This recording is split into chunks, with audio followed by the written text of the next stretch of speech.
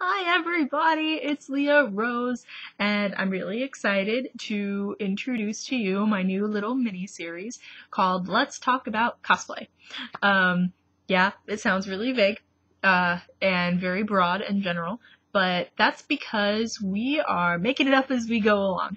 Um, basically, I want to hear questions from you guys about uh, what you want to know about behind the scenes of costuming, of cosplay, at working at Comic Cons, anything related to that at all. So uh, this is going to be an upcoming series. Um, I'm only going to produce it as long as I have topics to talk about. I have, I think, like six ready to go right now. So obviously I've got material for a while. Um, I'm going to try to keep these decently short, but still informational. But you know how I can talk, so they might not be that short. Uh, anyway, so first topic that we're going to be talking about is copyright. Um, I've had a couple of questions about the uh, copyright rules for um, actually using somebody else's character for one, but the bigger question that pe- that comes up a lot, especially lately, is about uh, photographer rights when it comes to shooting your costumes professionally. So, first off, the faster and easier one is about the characters themselves. Technically speaking, yes, cosplay is copyright infringement. Um, however, nobody ever is going to uh, prosecute, if that's the right word for it. Um, and a lot of times it actually can't because cosplay, nine times out of ten, is considered um, not in violation of uh, fair use. If if that makes sense, you are not claiming that you created the character, and you are not claiming that you designed the character, unless you do something fan art, in which case it's it's a little bit different. But uh, most of the time, the only time that a creator is going to have a problem is if you say that you created the variant or the costume or the character or whatever, which nobody does that anyway, because if you're recognizable, then there you go. Uh, but they will not care unless you are mass producing costumes and selling them in that way. Uh, this doesn't necessarily count as commissions, but I know a couple of years ago there was a huge problem with people selling Jayne hats from uh, Firefly. So as long as you are not mass producing and selling, then it is generally fine. Uh, the only time that people have ever really had a problem is Disney sometimes has issues. They're known for being very strict on copyright, which if you're Disney, you can kind of get away with that. Um, and so many things are bootlegged anyway, like cosplay related items don't even get the companies don't really pay that much attention when there are much much much bigger fish to fry. Uh, aside from that, if you go to cosplay.com, there's a really good thread about it on there. I don't know what this hand motion was, but it was fun. Um, cosplay.com and there is a DeviantArt um, on Antiquity slash Dreams is DeviantArt. Uh, she has a really nice journal up. He, them, I'm not really sure. Uh, if you Google DeviantArt is cosplay copyright infringement, there is a really, really great article about that one. And long story short, yes, it technically is on that part. But no, you will not get in trouble for it unless you are mass producing. Uh, yeah, there's number one. uh, number two is about photography and cosplay. And this is where there's been a lot of drama lately because you, you can very easily understand both sides of the story. On the one hand, there, now you can see my hand. On this hand, uh, you can understand that legally speaking, at least in the US, the photographer automatically holds the rights. Period. The end. That means that the cosplayer has no right, at least right off the bat with nothing signed or agreed upon otherwise, the cosplayer has no right to edit, to print, or to basically use them at all. Which sucks. But it is their right, and and that's just how it works. And a lot of times that does make sense because I mean, for example, um, a really good example that I found was uh, wedding photography. Uh, however, that is a paid. Okay, that's a really bad analogy. Never mind. Um, but on the other hand, it is the cosplayer's work.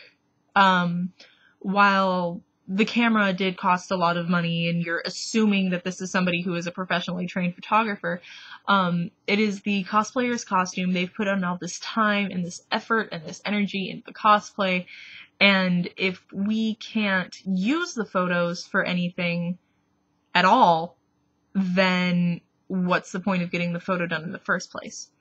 The way that i see this being solved is either photographers need to be a little bit more open about having their stuff used, which, and I understand if they're not, but when you shoot with a cosplayer, especially someone who does sell prints, then I feel like they need to be prepared to be willing to let them sell prints if if they give them a percentage or if they give them a fee flat out or however the situation may be but outright saying no doesn't seem very fair. Uh, and also i think that personally i'm going to implement a new policy to where i will not shoot with a photographer um, unless they sign a contract giving me the rights to it or i get paid for the photo shoot because doing it for free and then getting nothing out of it because I'm not able to use the photos, it's it's a crap situation for both. A lot of times, um, like the cosplayer and photographer community is really, really, really close, like tight knit. So a lot of times people are are reasonable about it and you can come to an agreement and um, a lot of people are especially including myself have taken to making um, like small contracts just saying that we both have complete and total rights to this, um, say for selling the copyright or usage of it itself, like no selling it as stock photography or anything like that. Um, and if anything like that were to come up, to contact the other person to discuss the terms. But aside from that, using it on social media, printing, editing, completely like ready, set, go. Like do whatever you want. And that's usually the way that it works really, really well. Um, and you don't have to do that for all of the photos. Uh, for example, Bald Pirate Photography and I uh, made a deal with one of our big shoots to where he and Geek News Network own the rights to some of my photos. I don't. How and they can do whatever the hell they want with them. I own the rights to other photos from the same photo shoot. So that's what you can do so you can have something sort of exclusive, if that makes sense. Um, so, yeah, unfortunately for cosplayers, fortunately for photographers in America, uh, the photographer owns the right, flat out, and we cannot. Really, there there is no way to get around that. Um, if you're friends with your photographer, then awesome, you can work it out. But if you are not, then there's really not a whole lot that you can do. Um, and the only way to make sure that you are supporting the cosplayer with your print sales because sometimes photographers will sell the photos, which is fully within their right. But because of that copyright belonging to them, there is no guarantee that you are supporting that cosplayer by buying the prints from the photographer. The only way to guarantee that is to buy the prints through the cosplayer and hopefully they will they would be open enough with you to explain like how much they get from it or like percentage wise if they get the entire thing or anything like that. Either way, either way. buy from the cosplayer and you're supporting the cosplayer. Um, and probably partially the photographer too. Buy from the photographer, you are only supporting the photographer, more than likely.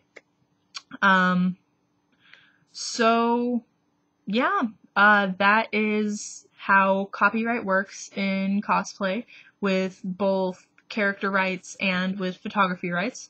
Um, it's it's a little hard to explain, so I'm sorry if I didn't make too much sense, and I don't mean to sound like uh, bitter about it in any way. Um, I have had my fair share of bad experiences with photographers um, not being upfront about their intents on copyright. Um, is even after the shoot, like before the shoot, say yeah yeah yeah everything's fine um, you will have complete rights to to print and sell if you want to, and then after the shoot, being like, no, you're not allowed to.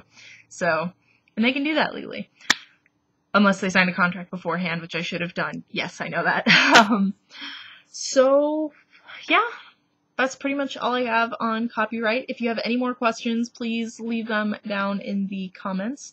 Um, and also leave me ideas for my next Let's Talk About Cosplay video. Coming up, let me look at my, let me look at my phone so I can tell you what, uh, what we, uh, have. We have copyright, which we just did. The process of cosplay, which I mean like picking which character, doing like how to actually start making it, like the fabric choosing, all that sort of stuff uh, competition in cosplay, which is going to be a fun one. Uh, horror stories and best stories. I'm hoping to get some of my friends in on that one. Uh, sexism in cosplay, which is also kind of fun, and the business of cosplay. So there's that. A lot of very much behind the scenes, not incredibly lighthearted sort of stuff. So yeah, if you have any questions about any of those, or if you have any questions about anything, or you just want a digital high five, then let me know. I hope you have an awesome day. Take care.